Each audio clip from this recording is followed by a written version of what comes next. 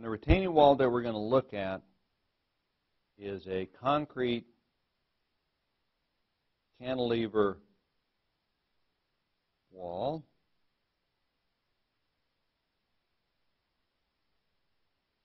Uh, with soil behind it.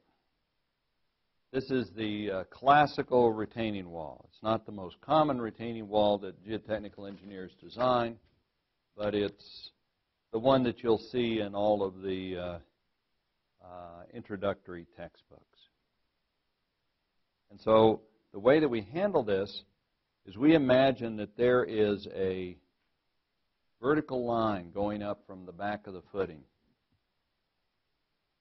And then we come and isolate this portion, the concrete wall,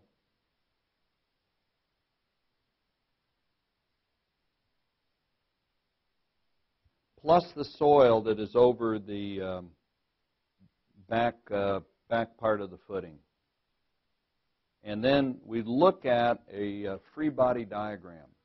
And so basically what we're doing with retaining walls is we're remembering back to when we looked at lateral pressure, uh, which involved uh, a K value. And so we look at a, uh, a pressure that is behind the wall, and we can, um, this wall has a height h, this pressure, if it's the active pressure, would be 1 half K sub A gamma H squared. And that'll be the lateral pressure that is tending to push this concrete block of, uh, you know, the wall plus the soil that is over the back of the footing. Uh, if I take the uh, forces that are involved, I can say that the this overall system has got a weight that is acting downward. We've got a horizontal force uh, acting behind the wall. Then we've got a normal force acting on the bottom of the wall. And we have a tangential force acting along the bottom of the wall. And that tangential force is just due to friction. So it's the same thing as in, uh, in static equilibrium. They would give you uh, a problem involving a refrigerator with some coefficient of friction at the bottom, and somebody comes along, and the question is, how hard do you need to push it to move it along? And that's the same concern that we have here, but in a different way. we would just assume that the wall not move due to the soil pressure. So the whole thing about retaining walls is this simple free body diagram. And so what's going to happen, we're going to look at about four different problems, and it's basically always coming back to this simple free body diagram and some way of describing how those forces interact. So we're always going to be either finding um, force equilibrium or uh, moment equilibrium. And so it's really not geotechnical engineering. It's just uh, how can I use my understanding of geotechnical engineering to describe how the retaining wall will behave.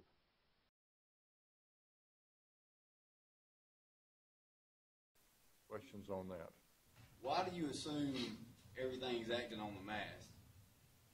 Well, the mass, I mean, the load is carried up the up the uh, cable over to the mast, and so this load is carried through the mast. The counterweights are attached to the boom, which is attached to the mast. The weight of the boom, the boom itself is attached to the mast. So the, the mast is what's holding all of these things up here. So that total load is coming down through the mast into the into the base. And as far as positive or moment uh, or negative moments, I just draw the line so I, it's easy for me to keep track when I'm in a hurry. I guess I still just don't see why you wouldn't take the difference, even though, I mean, I understand it's acting through the mass, but still, if the load's out, if that 90,000 is pulling down, it's trying to pull that mass up out of the, the base. So it's not well, this 90 is giving you one moment here. Okay, that's 90 at an angle is giving you a moment right there. Okay. But that 90 pounds is also being carried here because this got to be carried down through the ground. So you've got a moment arm due to that 90. Think of it this way. What if this was at zero feet? You'd still have the 90 working down here, but you wouldn't have any kind of moment arm due to that 90 sticking out very far.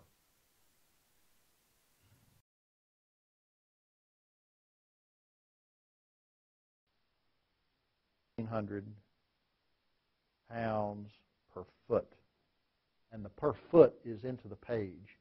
So that's the per linear foot of wall. So however long that wall is, every foot of that stem weighs 1,500 pounds. Okay. The footing, 2,400 pounds. It's 8 feet by 2 feet. So that should be 150 times 5, 6, 7, 8 times 2. That's how I got that. The soil, I used uh, a unit weight of 120. Perhaps a little large, but. So the 6,000 is that 120 times 5 times 10. So in order for you to calculate these things, they have to give you the unit weights. Of course, we could assume the one for concrete. But they would at least have to give you the unit weight of the soil, get that. So again, that's 120 times 5 times 10.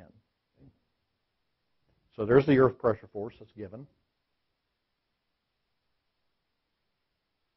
There are formulas for it, but now it becomes a geotechnical problem. So that's the earth pressure force.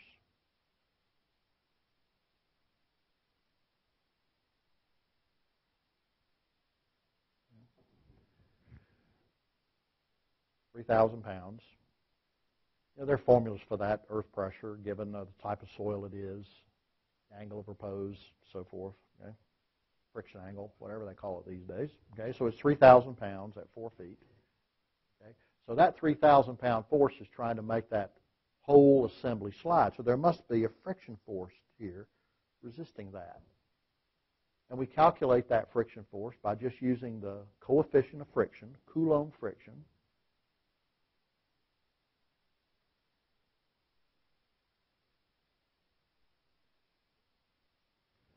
okay, times the normal force. So you're going to see me calculate that friction force, which is just mu, the coefficient of friction, times that normal force. So it's just like you learned in physics a long time ago in calculating basic friction force.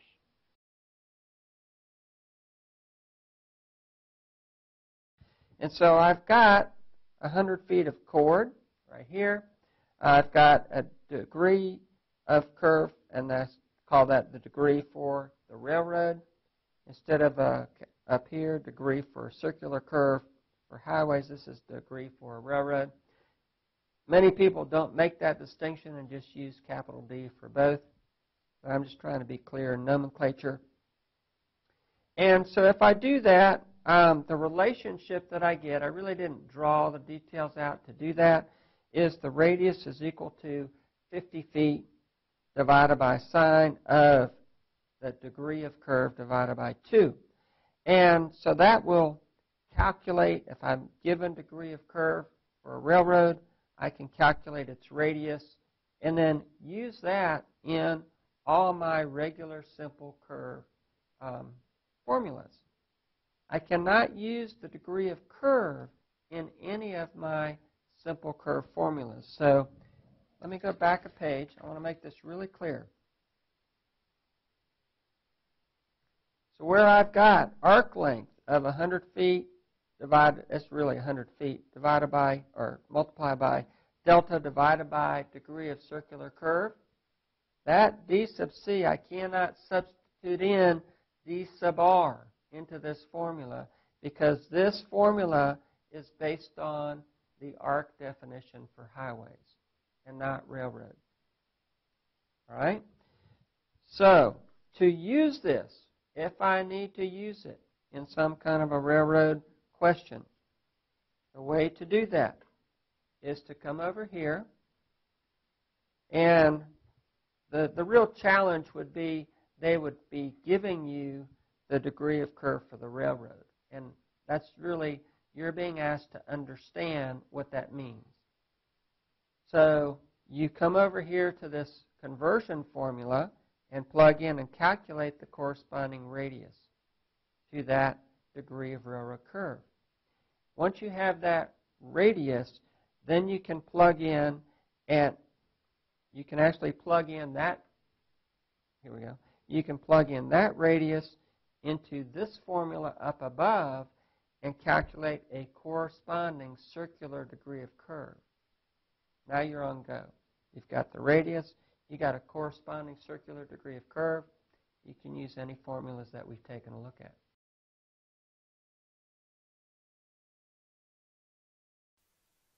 Okay, next problem when we go into this uh, uh, wastewater treatment plant is we uh, now have gone through the flash mixer and we're going into a flocculation tank.